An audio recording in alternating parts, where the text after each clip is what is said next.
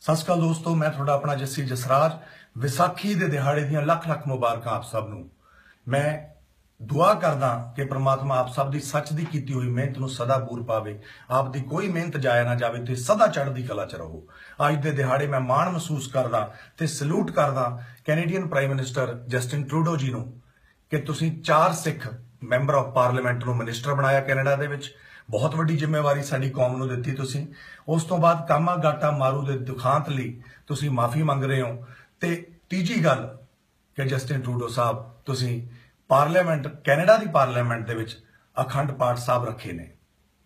ਤੇ ਅੱਜ ਮਾਣ ਮਹਿਸੂਸ ਹੋ ਰਿਹਾ ਆਪਣੇ ਆਪ ਤੇ।